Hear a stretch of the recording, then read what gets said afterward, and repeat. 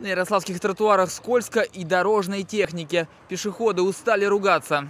Плохо справляется. Вот я сейчас упала. Еле-еле идем. Это очень так тяжеловато, особенно в возрасте. Какую оценку дорожникам поставить? Ну, где-то, я думаю, там 3 с минусом. Мучаются и водители, говорят, обочины завалены.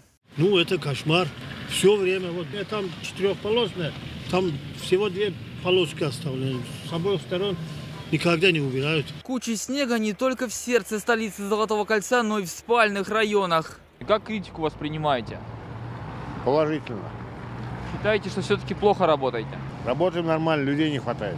Сколько в день часов проводите с лопатой в руках? 12.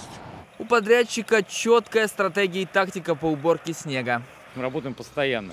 Вот. Каждая улица убирается по нескольку раз. То есть первоначально это нужно скинуть снег в обочину, затем обработать улицу либо песко-соляной смесью, либо жидким реагентом, либо твердым реагентом. Затем уже приступить либо к, ну, к вывозке снега, поджатию и так далее. Жители домов на улице Елены Колесовой шутят. Снег поджимали своими автомобилями. Каждый вечер, когда справились, приехала дорожная техника.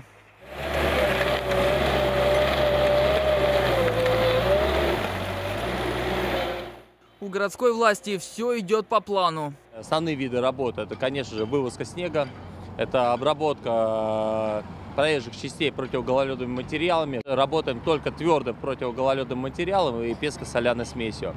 А также основные виды работ на сегодняшний день это уширение проезжей части, потому что в некоторых местах оно действительно есть заужение. А работа по э, обработке тротуаров, э, борьба с гололедицей. За последнюю, наверное, предыдущую неделю там свыше 5 тысяч тонн было вывезено снега. Соответственно, работа ведется в основном, конечно же, в ночное время на основных магистралях. На сегодняшний день у них вышло порядка 47 единиц техники и 100, 100 дорожных рабочих. Мешает погода, морозы. Ковшом снегоуборочной техники управляет жидкость. Это если совсем упростить рассказ о принципе ее работы. Магистральные шланги, своеобразная кровеносная система дорожных машин. При минус 20 уже начинаются сбои. Когда температура еще ниже, механизм легко выходит из строя.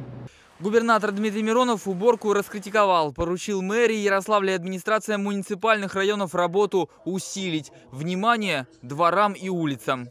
И я конечно, разделяю негодование людей, потому что прошло достаточно уже э, много времени, уже можно было вот э, справиться с решением этой задачи. Я попросил бы мэрию Ярославля, э, администрацию муниципалитетов сосредоточиться на этой проблеме, наладить эффективную работу и, конечно же, взаимодействие всех служб.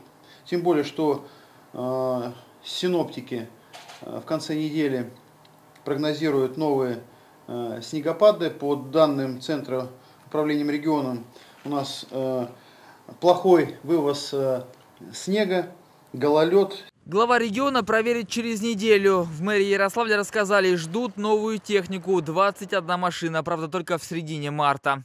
Георгий Колчин, Сергей Ватин. День в событиях.